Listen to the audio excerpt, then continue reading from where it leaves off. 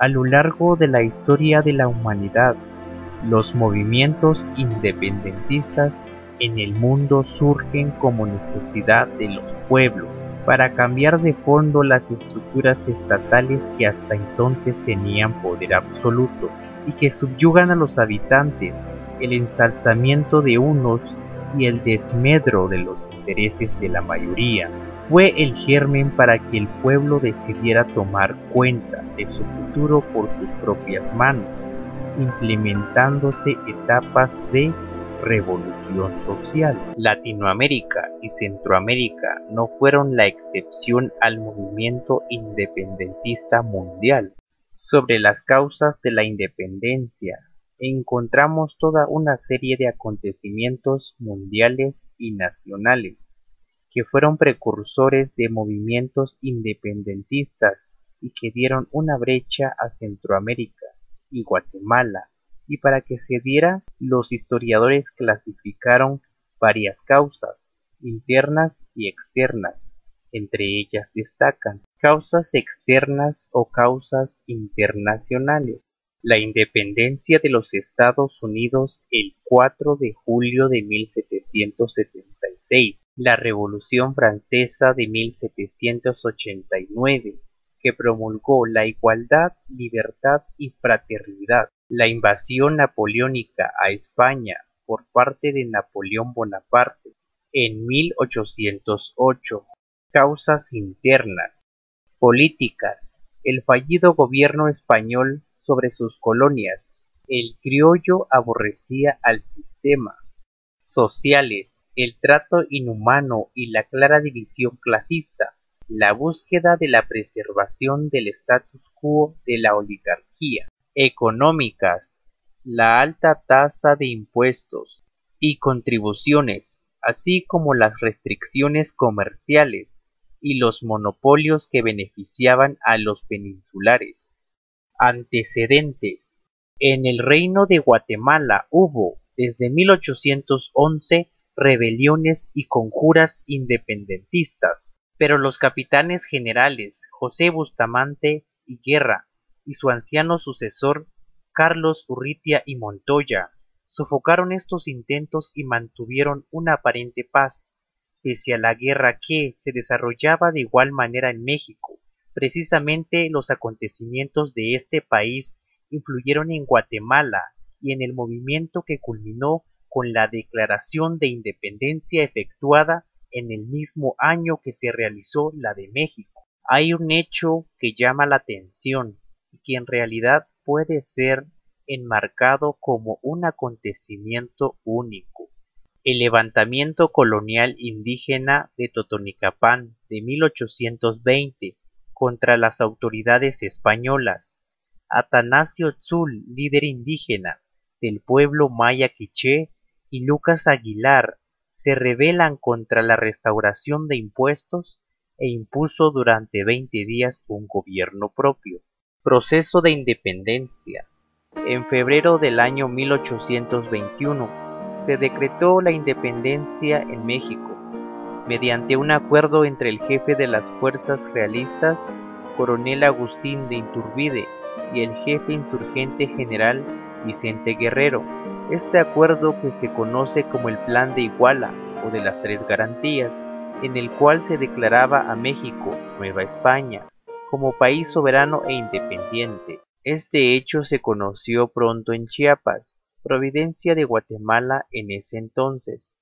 Algunos de los pobladores comenzaron a adherirse a dicho plan, ya que el estado de Chiapas por su ubicación geográfica quedó en una especie de limbo al no saber si formaba parte de Guatemala, de México o si permanecería como una colonia del Imperio español. El día 14 de septiembre en la sede de la Capitanía General de Guatemala se recibió la correspondencia de la Providencia de Chiapas, ayuntamientos constitucionales de Ciudad Real, Comitán y Tuxtla, donde comunicaba que con fecha 8 de septiembre de ese año, esa providencia se había declarado independiente de España y se había adherido al Plan de Iguala. Este plan contenía tres garantías Independencia de Nueva España bajo un gobierno monárquico moderado, unión de americanos y europeos y mantenimiento de la religión católica, apostólica y romana. Estaba como gobernador temporal por enfermedad de Carlos Urrutia y Montoya, el brigadier Gavino Gaiza, militar y político guatemalteco de origen español, se adaptó a la nueva situación colocándose abiertamente del lado del movimiento independentista, quien el 14 de septiembre de 1821 convocó a los miembros de la Diputación Provisional, al Ayuntamiento Constitucional, al arzobispo y su cabildo eclesiástico, a los representantes del claustro de la universidad y del colegio de abogados, y a otros funcionarios coloniales, civiles, religiosos y militares, para asistir a una reunión en la mañana del día siguiente, 15 de septiembre, en el Palacio del Gobierno, con el propósito de conocer los papeles de Chiapas y decidir sobre el particular. Acta de Independencia. Ante la noticia y por las actividades de la Junta Provisional, la noche del viernes 14 y la lluviosa madrugada del 15 fueron de mucha agitación.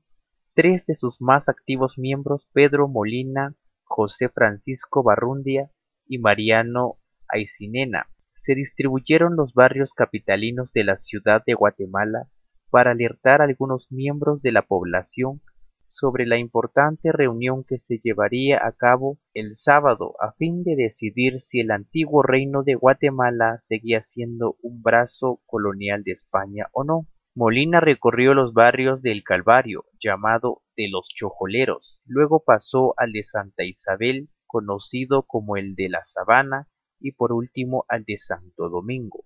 Barrundia fue al barrio de San José, al de Candelaria, llamado el de los Chicharroneros, porque allí se destazaban los cerdos y se manufacturaba sus derivados, chorizo, chicharrones, morcilla, entre otros.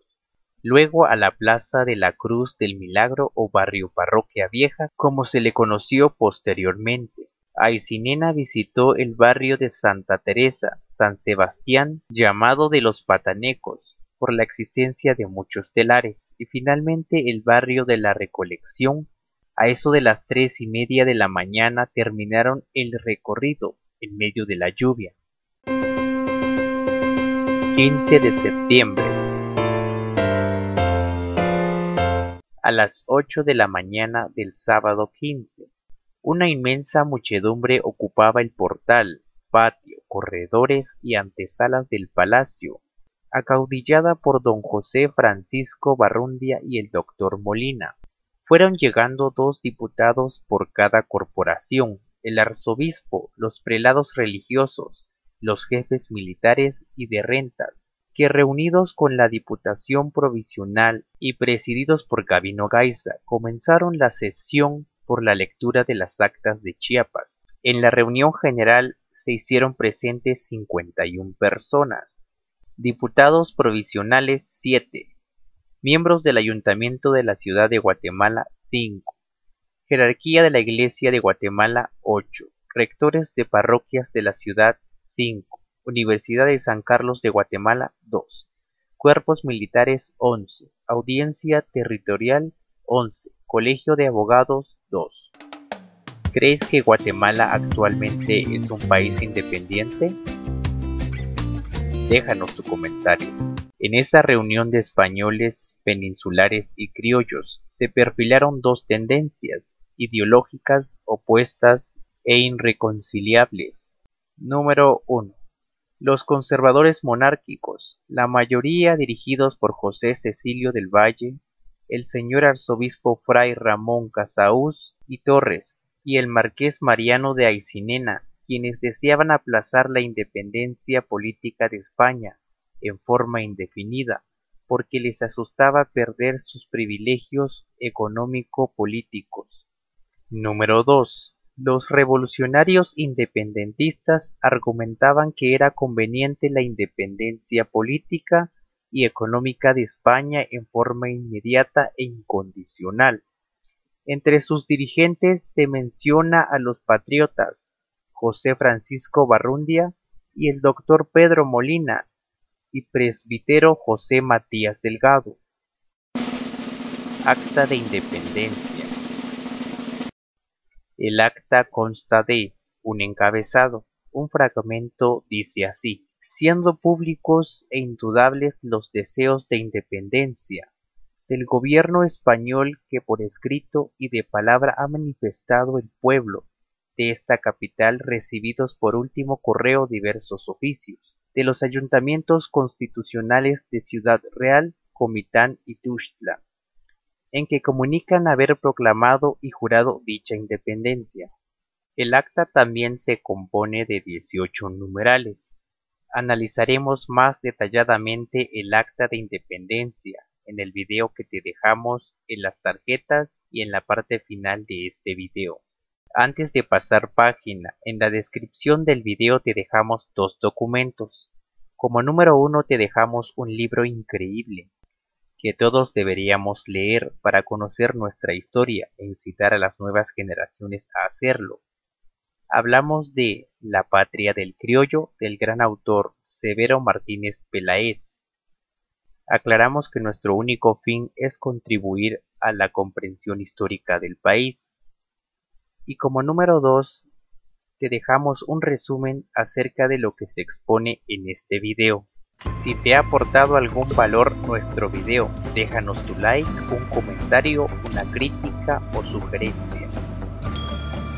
Y recuerda, el porvenir está en tus manos, autoedúcate con Aprende Derecho.